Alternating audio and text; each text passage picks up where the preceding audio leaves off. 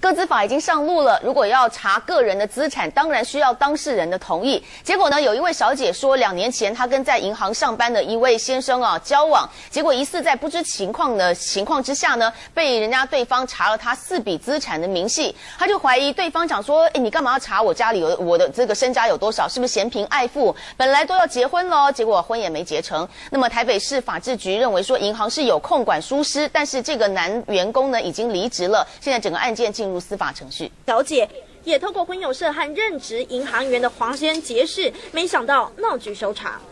我觉得薄情郎吧。我之前我的邻居跟我说：“你不是要结婚了吗？你怎么还在这里？”所以我今天都要躲我的邻居。赵小姐口中的薄情郎照片还留在手机里，但没想到两年前双方都已经论及婚嫁了。黄姓银行员却疑似以职务之便调查赵小姐各资，身家财产曝了光，单亲妈妈的感情世界也顿时依靠。因为我本来就是一个很单纯的保姆，当然就是我很我的信用一定就是很普通，我也没有什么借贷，所以他发觉。